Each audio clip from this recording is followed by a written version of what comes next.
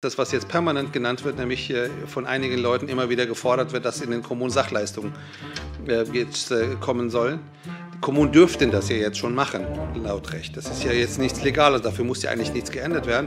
Die Kommunen machen es nicht, weil ihnen nicht nur Geld und Wohnraum, Wohnraum fehlt, sondern auch Personal.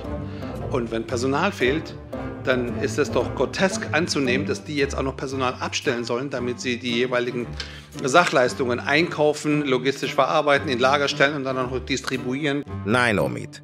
Es geht nicht darum, dass Mitarbeiter der Kommunen für eure Flüchtlinge einkaufen gehen sollen, alles nett einpacken und es dann vor die Haustür liefern.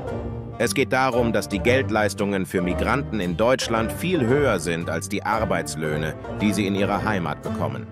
Und äh, das äh, Zweite, was jetzt immer wieder genannt wird, was so keinen Sinn macht, ist, äh, und da, das hat die Bundesinnenministerin letzte Woche, finde ich, sehr eindrücklich am Donnerstag auch im Fernsehen erklärt. Es ist die Frage, dass, äh, dass man jetzt Grenzkontrollen hochfährt. Diese Grenzkontrollen an den Grenzposten machen keinen Sinn, weil die irreguläre Migration ja nicht darüber kommt in erster Linie. Doch, Omid. Die Schleuser bringen Migranten in LKWs und Transportern über die Grenze. Sie benutzen also sehr wohl Straßen und damit Grenzübergänge, weil sie dort unbehelligt bleiben. Jeden Tag greift die Polizei in den Grenzregionen solche Schleusertransporte auf. Die Insassen kommen dann in die Erstaufnahmestellen und die Schleuser werden zurückgeschickt.